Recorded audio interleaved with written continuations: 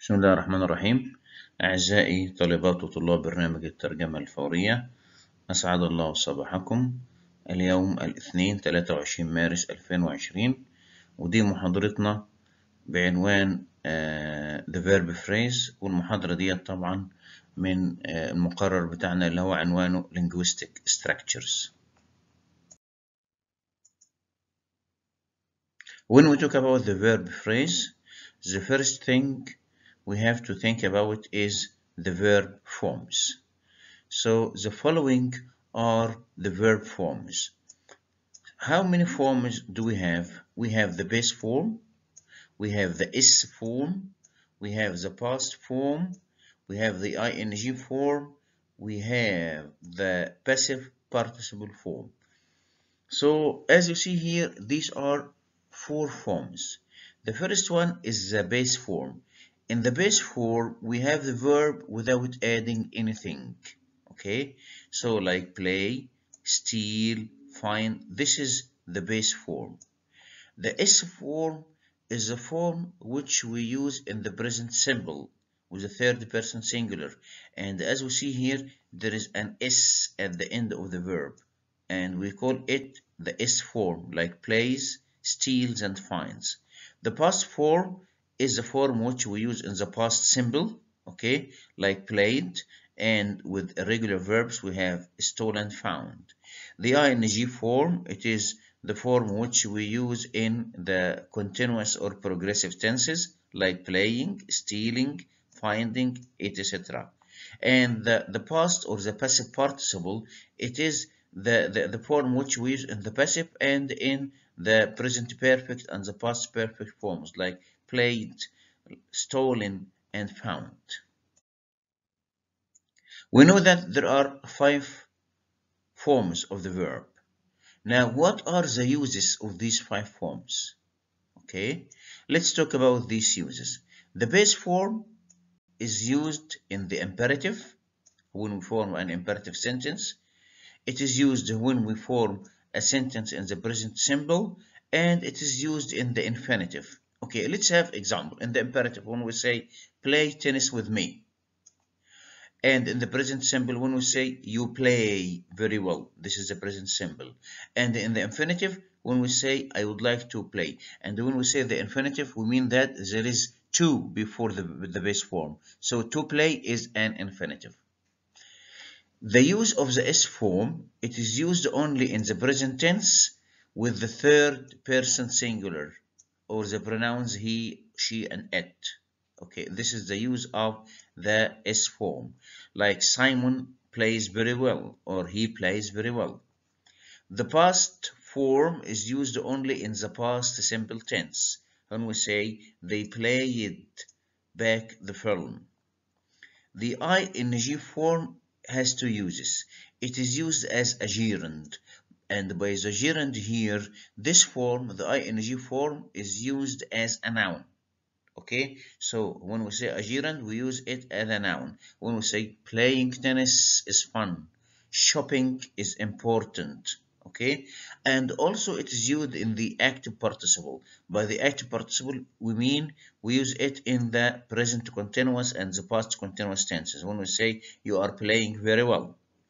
The past or the passive participle, as you see here, it is used as the past participle when we have the, the, the, perfect tenses, whether these tenses is the present perfect or the past perfect, like when we say they have played back the film. Or the passive participle, when we have a sentence in the passive, like the film was played back. When we talk about the verb phrase, we have to differentiate between finite and non-finite verbs. What is a finite verb and what is a non-finite verb? Okay, let's see.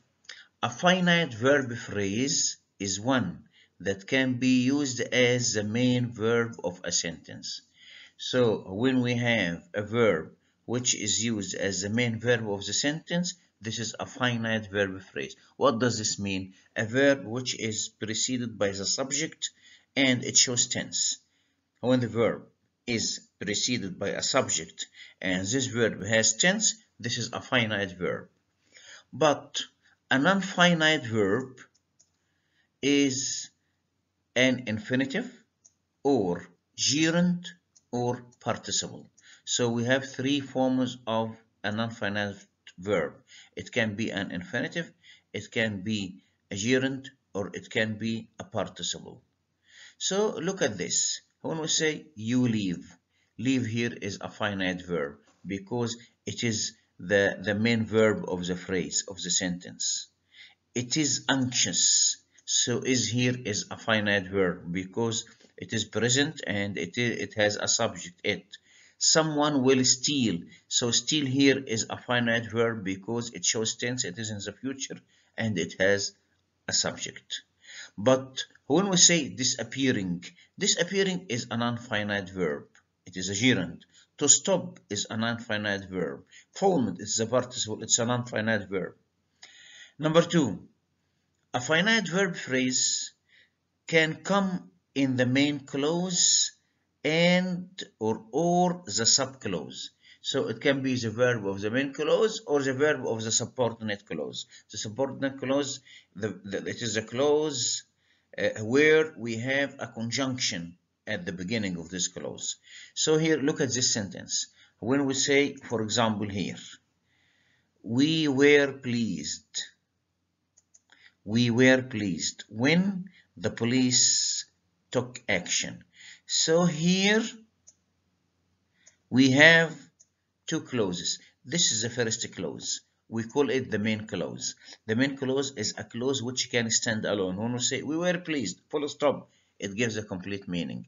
But if we say when the police took action, so what?